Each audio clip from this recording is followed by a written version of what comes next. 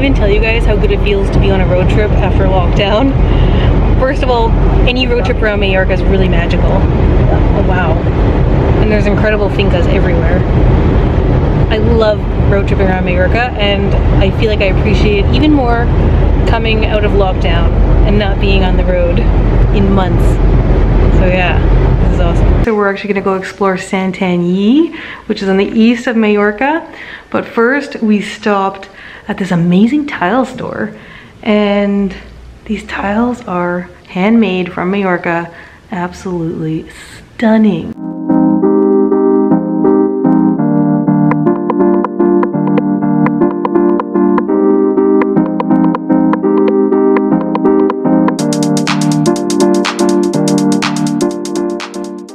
Right in here behind me guys, that is where all the tile making magic happens. How incredible is all of this? So amazing. There is a ridiculous amount of tiles and different designs. This is absolutely amazing. They definitely have a lot of options. This is incredible. I never would have thought that they had this many options. Wow.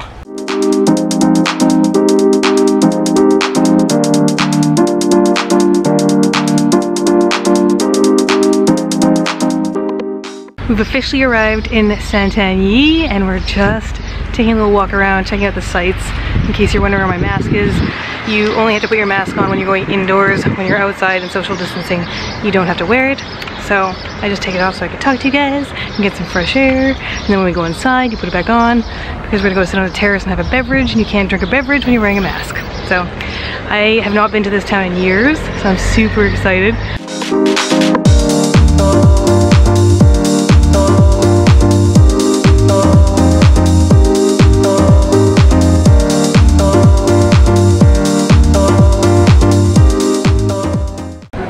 Seen more amazing local truffle products in my life. All truffle products from Mallorca.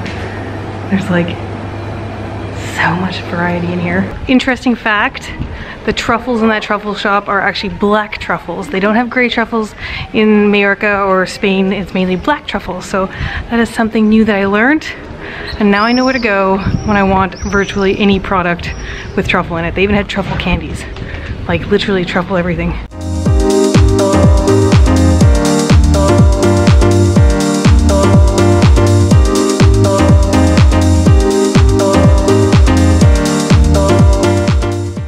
Just came to the most beautiful little restaurant for a quick coffee. Um, well, I'm having a nice iced coffee. I just put my coffee in some ice and I actually like had to pour on there because it was a bit difficult.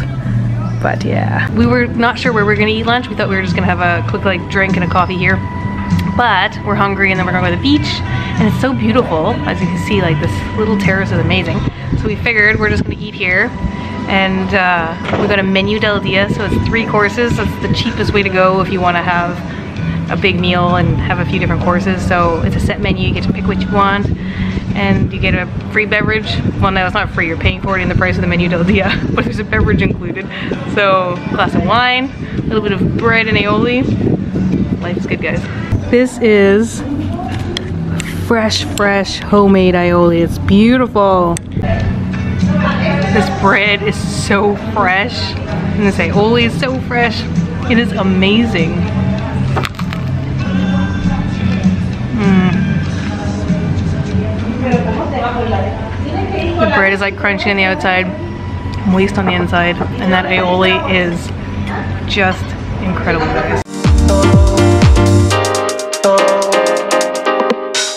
This salad looks incredible. It's a goat cheese salad it is so, so divine.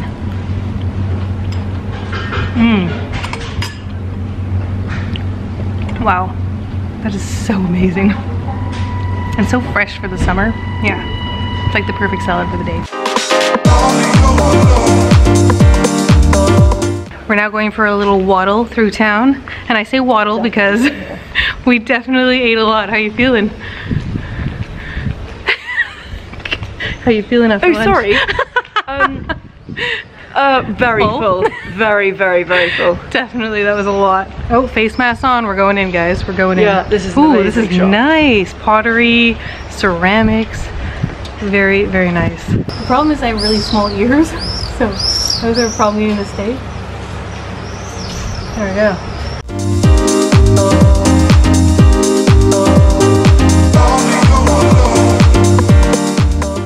So the town is actually really quiet right now for a couple reasons. It's only locals and it's de-escalation, so there's truly not a lot of people. Plus I also think it's siesta, so there's that break in the afternoon, everything closes, then opens back up again. It's interesting to see it like this. Tomorrow is market day, so we're thinking these barriers were set up so that all the markets can be open and that they can still have their market, which is very, very cool. The markets in Majorca are amazing.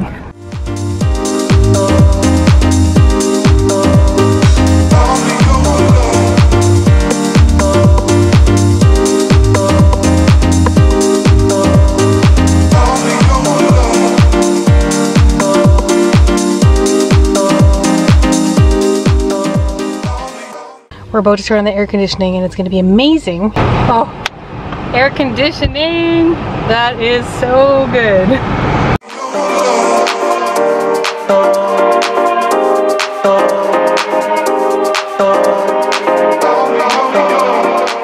Right beyond these bushes over there by that white structure is the blue water.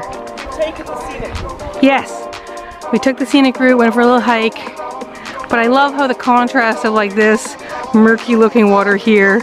And then when you look straight ahead which you can't see behind these bushes but there is the blue blue beautiful water. It feels so good to be back at the beach. My first time to the beach since lockdown. And I love this beach we came to Mondrago which is one of my favorite beaches. You can hike on either side. The water is super blue as you can see and since there's no tourists on the island because the borders open until July 1st, it is the quietest and most tranquil I've ever seen the beach. Like beaches in Mallorca are not like this in the summer, in the spring, almost anytime. They're never like this, so it's pretty cool. First swim in the sea post-lockdown. I wanted to take you guys with me, but I don't have a waterproof camera. And I didn't feel it was safe to leave my camera like just sitting on the beach recording. So I didn't take you guys in with me. But let me tell you, that was amazing. Like, because it's post-lockdown and life's been so crazy, it was like the best swim of my life. Yeah. I feel super invigorated and just so grounded. How was your swim? Uh, it was amazing. Wasn't it? Like, soul soothing. And she's the one who said, Petrena, we have to go to the beach today because it's going to be And you have to put your head under. And she did say I wasn't going to put my head under because I just washed my hair before I came here. So I was like, going to pin it. And then she she made a good point. And then once I dove under, I was like, what am I thinking? Just have salty hair Yes. for a couple of days. Hmm. Salty hair. Oh, it is salty. but yeah, she. Thank you, Georgia, for for getting me back in shape here. What am I doing trying to protect my dry hair? Ridiculous. What kind of a beach is that? What a great way to spend an afternoon. So, so good. The best part is, is Santanyí is not far from Palma. Santanyí is surrounded by some of the best beaches in Mallorca. For instance, Mondrago, where we were today.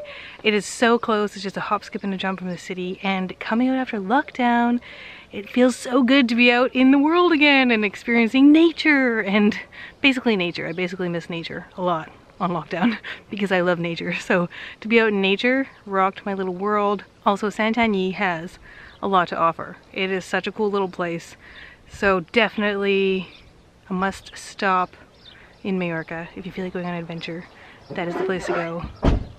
And yeah, let me know what you're doing on your uh, post-lockdown adventures and what you looked most forward to, what you missed the most on lockdown. I definitely want to hear it. And before you go, please do give this video a thumbs up, hit the subscribe button and the bell to make sure you're notified every time I post a video. We'll see you soon, guys.